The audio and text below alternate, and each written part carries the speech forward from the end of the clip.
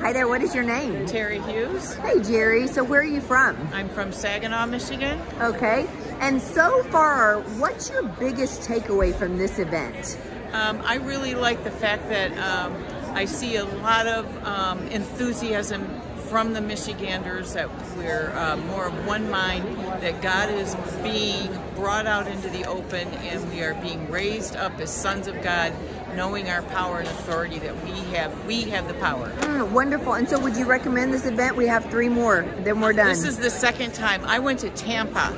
okay, wonderful. then I found out that he was having one in Grand Rapids. So yeah, I recommend it. Wonderful. Highly. Great. Thank you so much.